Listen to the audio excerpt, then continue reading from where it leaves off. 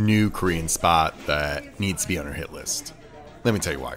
Gahm is the newly reimagined Brooklyn location of Mokbar from Esther Choi, full of fun Korean dishes. Here's what to order.